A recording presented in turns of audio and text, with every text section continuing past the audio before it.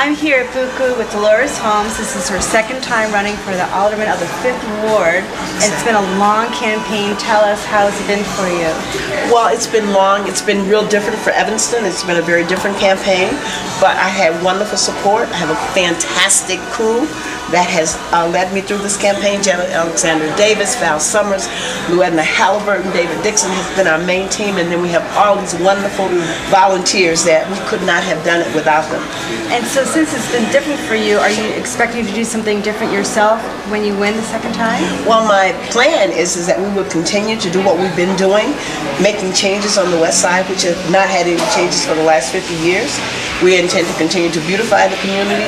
We intend to continue to work for affordable housing, to bring jobs, to bring economic development to the community. So, uh, and make sure that it's a nice, safe place uh, for the west side. It's a wonderful community, and we want to share it with everyone. And so what kind of support? You have a lot of people that are here tonight, but the volunteers, what kinds of things have they been doing for you? Well, they have been doing everything from passing out flyers, making phone calls, being poll watchers today, just being support, staying with me in prayer, letting me know that, you know, the job I've been doing is a good one and they wanted to see me continue. So they've been fantastic.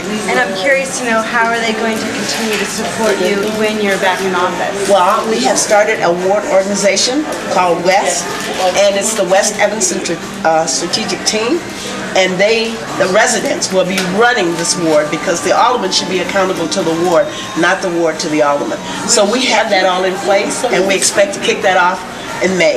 Excellent. So what would you like to say to everybody that's been supporting you?